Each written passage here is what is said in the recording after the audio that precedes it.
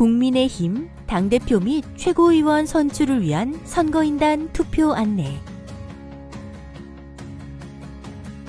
이번 당대표 및 최고위원 선출을 위한 선거인단 투표는 휴대전화 모바일 투표와 전화 투표로 나뉘고 휴대전화 모바일 투표는 6월 7일 월요일과 6월 8일 화요일, 전화 투표는 6월 9일 수요일과 6월 10일 목요일에 진행됩니다. 당대표 및 최고위원 선출을 위한 투표는 국민의힘 선거인단 명부에 등재된 분들만 투표하실 수 있습니다. K보팅 휴대전화 모바일 투표 안내 휴대전화 모바일 투표는 6월 7일 월요일과 6월 8일 화요일 오전 9시부터 오후 5시까지 진행됩니다. 본인 명의의 핸드폰으로 투표 문자가 발송됩니다. 수신된 문자를 클릭하여 보안 문자를 입력하면 투표 화면으로 이동하는데 투표하기를 클릭하고 주민번호 앞 6자리를 입력합니다. 다음 당대표 선거 화면이 나오는데요. 화면 속 출마한 당대표 후보자 한 명을 신중하게 고른 후 다음 투표 버튼을 누르고 선택이 맞으시면 선택 완료를 클릭하세요. 다음 최고위원 선거에서 최고위원 후보자 2명을 신중하게 고른 후 다음 투표 버튼을 누르고 선택이 맞으시면 선택 완료를 클릭하세요. 이어 청년 최고위원 선거에서 청년 최고위원 후보자 1명을 선택한 후 투표 완료를 클릭하시면 선택 확인 창이 뜨고 선택 완료를 클릭하면 투표가 종료됩니다.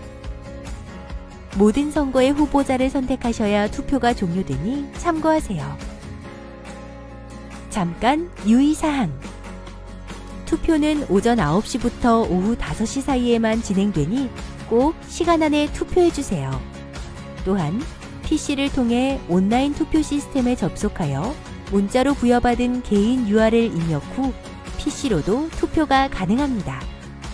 혹시 휴대전화 모바일 투표를 놓친 분께서는 6월 9일과 10일에 진행되는 전화투표에 참여해주세요.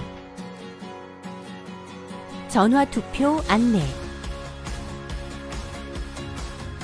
전화투표는 6월 9일 10일 오전 10시부터 오후 5시까지 가능합니다. 전화투표는 휴대전화 모바일 투표를 실시하지 못한 선거인단만 투표할 수 있습니다. 전화투표도 참 간단한데요. 02 6290-1222 번호로 온 전화를 받으시면 선거인단 확인 후 후보자가 무작위 순서로 제시됩니다. 천천히 잘 들으신 후 지지하는 후보자 번호를 눌러 투표하셔야 합니다. 다음 선택하신 후보를 확인하는 과정을 거쳐 투표가 종료됩니다. 당대표 후보자 1명, 최고위원 후보자 2명, 청년 최고위원 후보자 1명에 대한 투표를 모두 진행하신 후 투표가 종료되니 끝까지 잘 들어주세요. 혹시 첫째 날 전화 투표를 놓친 분께서는 둘째 날도 전화를 드리니 꼭 투표에 참여해 주세요.